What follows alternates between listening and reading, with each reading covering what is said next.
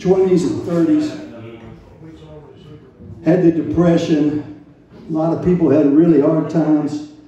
And the hobos came along, riding rails, picking fruit, uh, working day wages, and folk music kind of sprung out of blues, I guess.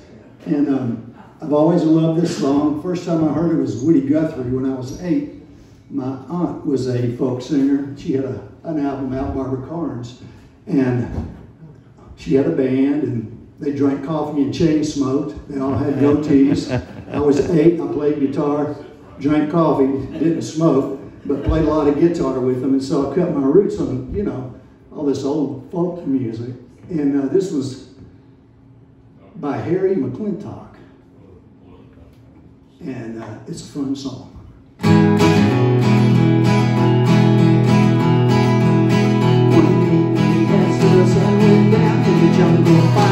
Burning Down the track, a hobo kitty said, boys, I'm not turning I'm heading for a land that's far away Beside the crystal mountain So come with me and you will see The big rock candy mountain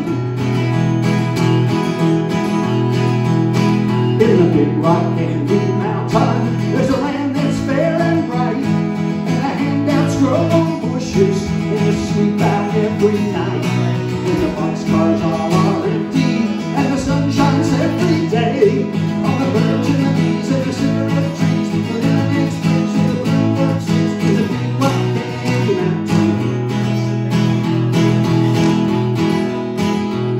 Rock candy mountains All the cops have wooden legs. And the bulldogs all have rubber teeth And the hens lays off full eggs The farmer are full of And the barns